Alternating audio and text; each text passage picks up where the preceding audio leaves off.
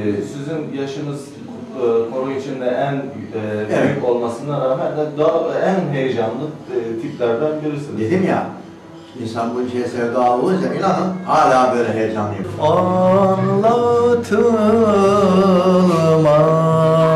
Anlatılmaz bin dert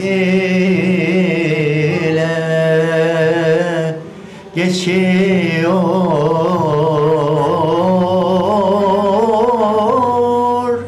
çileli ömrüm.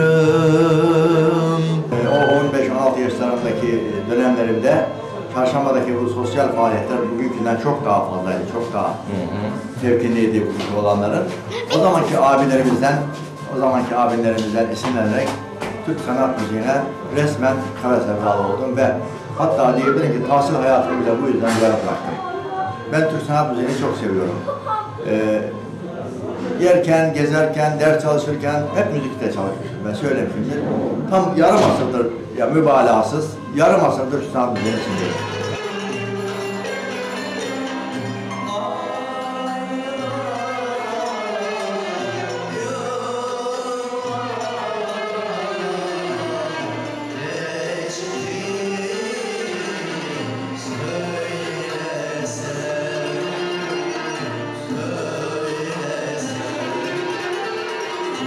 love.